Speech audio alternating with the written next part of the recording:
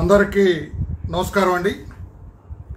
రెండు వందల యాభై రోజులుగా అమరావతి మహిళలు అక్కడున్న రైతులు ఆ ప్రాంత ప్రజలందరూ కూడా అమరావతి రాజధానిగా ఆంధ్రప్రదేశ్ రాష్ట్రానికి ఉండాలి.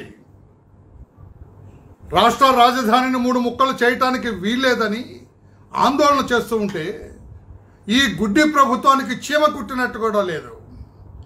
రెండు వందల యాభై రోజుగా మహిళలు ఆందోళన చేస్తూ ఉంటే ఈ ప్రభుత్వం ఎందుకు వారు ఆందోళన చేస్తున్నారన్న ఆలోచన చేయటం లేదు. రాజధాని గత ప్రభుత్వం అమరావతి నిర్ణయించింది. చారిత్రాత్మక రాజధాని అని ఒక నిర్ణయం తీసుకుంది. ప్రపంచవ్యాప్తంగా ప్రచారం పొందింది. దేశ రాజధానిలో ఒక గజెట్ పబ్లికేషన్ జరిగింది. భారతదేశం మ్యాప్లో కూడా రాజధానిగా చోటు కల్పించుకున్నది. అటువంటి రాజధానిని ఈ రోజున ముఖ్యమంత్రి గారు తనకు నచ్చలేదని చెప్పి మూడు ముక్కలు చేయటానికి ప్రయత్నం చేస్తారా?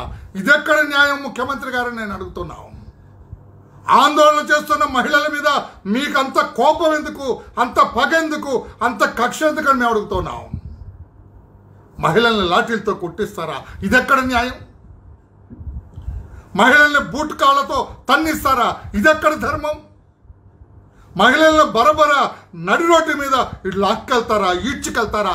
పోలీసు వ్యాన్లో విసిరి కొడతారా? ఇదెక్కడ ధర్మం? మీకు నచ్చకపోతే అమరావతి అనే పదం ఉచ్చరించడానికి కూడా మీరు ఇష్టపడకపోతే ఆ మహిళల మీద చూపిస్తారా మీ ఆక్రోషం మీ ఉక్రోషం మీ పగ మీ ద్వేషం? ఇది సరైనది కాదు ముఖ్యమంత్రి గారు అని చెప్పి నేను తెలియజేస్తున్నాను.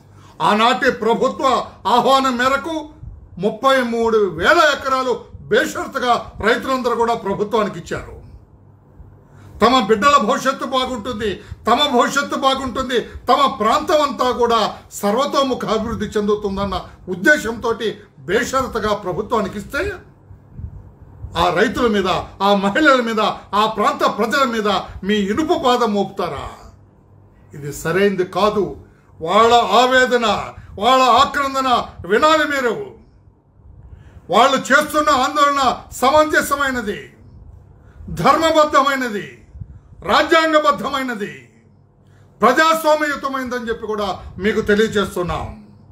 ఆందోళన చేస్తున్న ఆందోళనకారులారా మహిళా సోదరిమణులారా రైతులారా మీరు ఒంటరి వారు కాదు. ఈ రోజు నుంచి తెలుగుదేశం పార్టీ మీకు అండగా ఉంటుంది.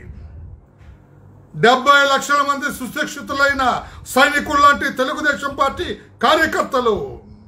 కార్యకర్త నుంచి మా అధినేత చంద్రబాబు నాయుడు గారి వరకు కూడా మీకు అండగా ఉంటాం మీకు తోడుగా ఉంటాం మీరు చేస్తున్న ఆందోళనలో పాలు పంచుకుంటాం. ఈ పొగరబోతు ప్రభుత్వ మెడలు ఉంచుదాం తప్పకుండా రాజధానిని సాధించుకుందాం. మూడు ముక్కలు అవటానికి లేదు రాజధాని. ఇప్పుడున్న అమరావతి ప్రాంతంలోనే మన రాజధాని ఉండాలి. అమరావతి పేరుతోటే రాజధాని చలామణి అవ్వాలి అందుకు తెలుగుదేశం పార్టీ మీకు అండగా తోడుగా నీడగా ఉంటుంది. మీరు చేసే ప్రతి ఆందోళనలో ప్రతి కార్యక్రమంలో తెలుగుదేశం పార్టీ పాలు పంచుకుంటుందని చెప్పి కూడా తెలియజేస్తూ ధైర్యంగా మీరు ఆందోళన చేయండి. మీ పోరాటం ఎటువంటి తప్పు లేదు. రాజ్యాంగబద్ధంగా మీ హక్కు కోసం మీరు పోరాడుతున్నారు కనుక మేము అండగా ఉంటాం. తెలుగుదేశం పార్టీ తోడుగా ఉంటుందని చెప్పి కూడా తెలియజేస్తున్నా.